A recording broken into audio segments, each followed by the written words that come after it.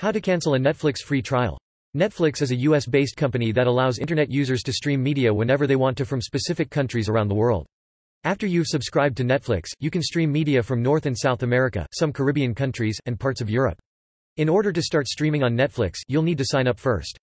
For the first month, you won't pay anything. However, you're required to pay to continue streaming after the one-month free subscription. If you don't cancel the subscription, you'll start being billed at the end of your one-month free trial.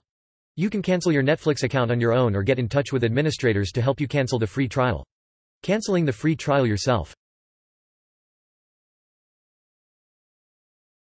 Launch an Internet browser. Double-click a browser's shortcut icon on your desktop to open it. If you want, you can just open a new browser tab on an already opened browser.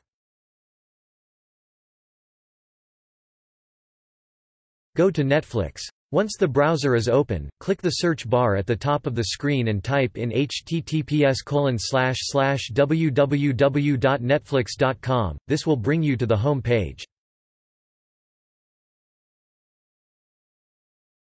Log in. Click the Login link to go to the login page. Then on that page, enter your email and password in the provided text fields. Once done, click the Sign in button to continue.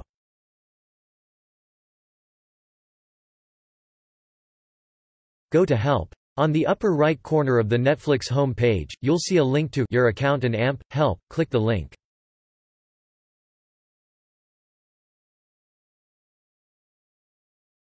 Cancel membership. On clicking it, you'll be directed to a page with a section labeled Account Information. On the right side of your current page, you should be able to see Cancel Membership link. Follow the Cancel Membership link and read through the terms of cancellation.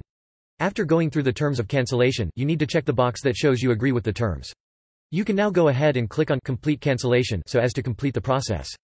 Netflix will send you an email confirming that your subscription has been cancelled and therefore you won't be billed.